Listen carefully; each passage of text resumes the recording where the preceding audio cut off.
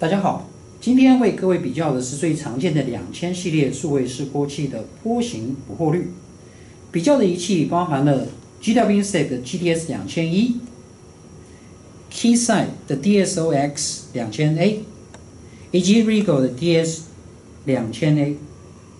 首先，我们将这三台示波器分别接到 GDB 零三展示板，而展示板所产生的讯号是。一万分之一所出现的偶发讯号。我们来看观测这三台示波器的显示表现。首先，我们看的是 GTS 两千一，在设定为最短一 K memory depth，而水平档位在一百 nanosecond per division。我们可以看到快速更新以及成功截取偶发波形的表现。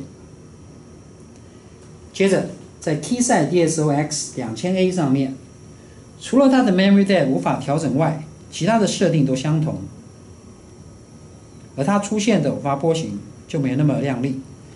而在 Regal DS 二两千 A 上面，将 memory dead 设定在最短十四 K，而其他设定都是一样，这是根本没有办法成功的截截取偶发波形。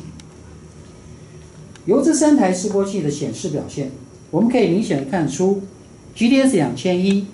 以其十二万次每秒的更新率，提供了较佳的偶发波形的截取能力。此为信号分析及除错所不可或缺的。